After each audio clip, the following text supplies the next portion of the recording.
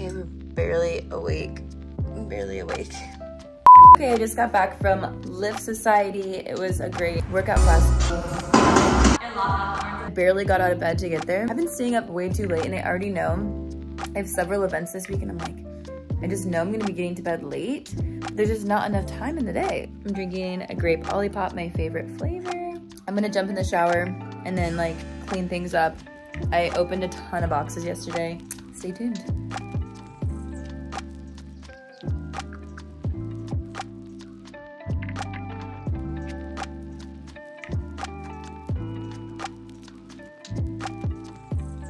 Take these boxes to the trash place. So I'm just gonna make this salad kit. I feel like this is meant for two people, but I'm gonna eat this whole thing. Protein option, it's not ideal. I think I'm gonna crunch my protein chips in here. This is the most random lunch, and that's why I ordered meal prep service for this week.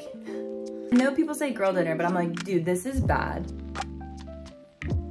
This is bad, but I don't have time. I don't have time. Going to STK with Hammitt, and I'm trying to find an outfit. Okay, the final fit. If you haven't been to STK, it is so gorgeous on the inside.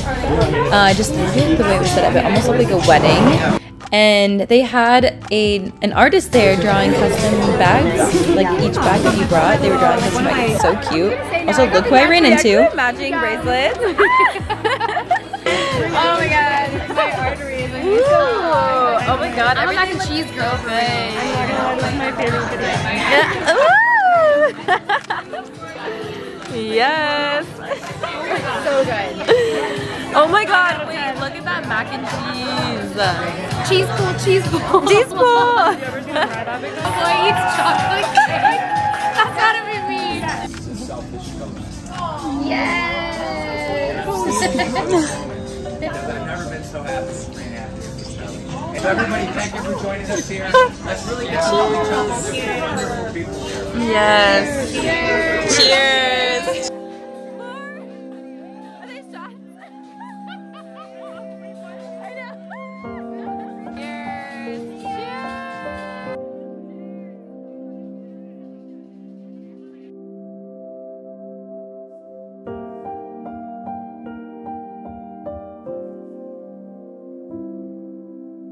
Same thing.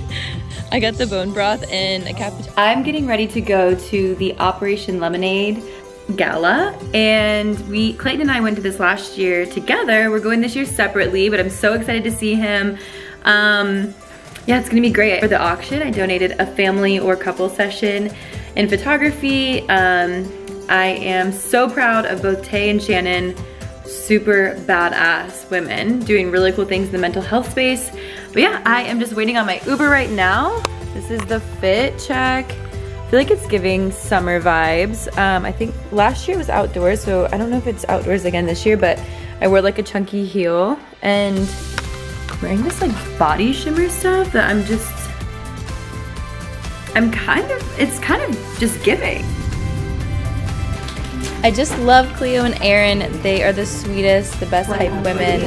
We had so much fun. We got to go to the event together. We sat all together and enjoyed the night. Oh my god, I love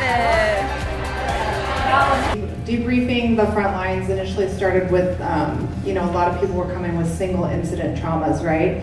To be debriefed. But as time has gone on through COVID and through the end of the pandemic, um, you know, we don't really know what the long-term mental health effects are going to be on nurses. And I think it's just really starting to show. As we were speaking, it made me think back to the first time I ever did CPR on a patient, and I was in ICU and three patients coded within like the first half of the shift.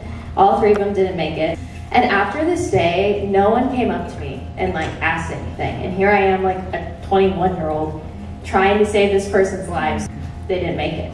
And no one spoke to me about it. And no one ever does, really. So that's why what you guys are doing is just like so important just to give context to those of you who aren't nurses that's we need to be debriefed after these traumatic things happen, and that's just one thing, you know. I would love to. but first, I want to introduce my wife, Tana, who is a nurse. Uh, she's a neurosurgical ICU nurse. And just tonight, we were talking about when she first started on the ICU, she cried every day. She had diarrhea every day. Me, me too. Me too. Uh, she, she was living trauma. My husband did that exact thing to me once when he was up here and I was sitting in the audience, so I feel you. in trouble? Because I've done that, I've I, I So brain health is three things. It's brain envy. You gotta care about it, right? Nobody cares about their brain. Dan and I live in Newport Beach where we have just as many surgeons, um, plastic surgeons as you have in Beverly Hills, right? I often say we care more about our faces, our boobs, our bellies, and our butts than we do our brain. And that's insane when, when you think about it. So brain envy. Freud was wrong. Penis envy is not the cause of anybody's problem. He was about two and a half feet too low in the body. It's your brain. So love your brain. I also want to mention that Amen was kind enough to donate a brain scan for our silent auction. So if this interests you, as it should, because I mean, listen to him talk, he's incredible, you should go bid on that and experience it to yourself. Yeah. believing in us, believing in our dream to have end mental illness, and yeah, we're pumped. Erin and I both donated for the silent auction. Erin's item is a raw beauty reset. I will leave a link below for you guys to check out. And mine is just photography, but you can always check that out too. I'm going to an event with Operation Happy Nurse and Lemons by Tay, a little happy hour to celebrate a successful gala yesterday. Come with me. The outfit is kind of, the outfit is kind of spicy tonight. It's like, like who is she? I don't dress like this. The celebration was at EPLP, and of course, Spade and Sparrows sponsored with their wine, but they also had these delicious cocktails. If you go to EPLP, I don't know if this is on the menu, but I ordered a glamorous margarita. That's what the bartender called it, but that's not the real name. Yeah, it was amazing, beautiful, great rooftop. Thanks for watching.